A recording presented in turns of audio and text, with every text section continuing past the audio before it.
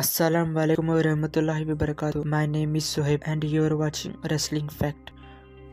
Top 10 things you did not know about Braun Strowman. Number 1. Mark Henry got him into the WWE.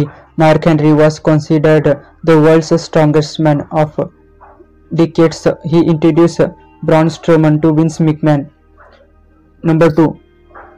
Poor Grady stopped his career in the American football.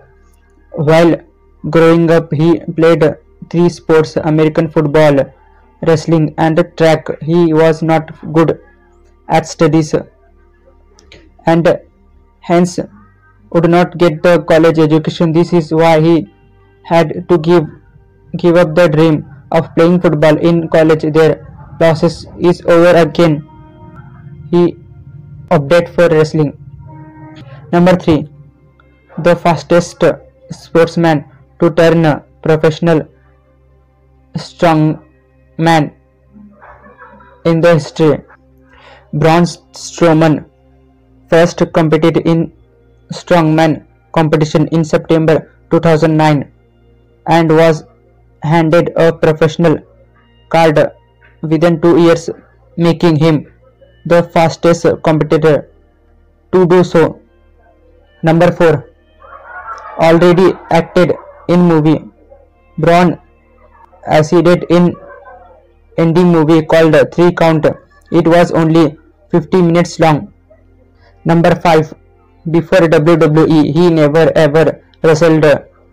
He made his WWE debut in 2014 and defected Chad Gable for NXT. Before this match, he had never wrestled before. Number 6. He did not like his split with Wyatt family. Wyatt and Braun Strowman shared a bond of friendship. When he instant split happened with the Wyatt family, he was uh, heartbroken since both of them would not work together. Number 7. He loved to eat. Braun would consume 1000 plus grams of protein and 1200 calories a day, including a triple Whopper combo with cheese at the Burger King. Number 8. Name change.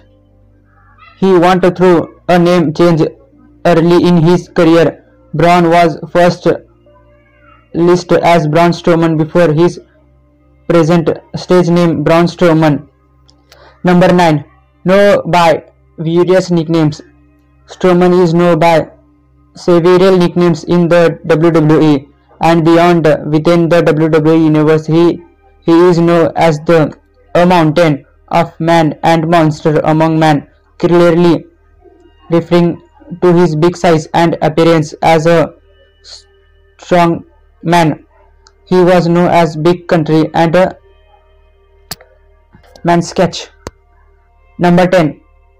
WWE fans fat shamed him when he made his debut on the main roster with the Wyatt family. The WWE fans called him fat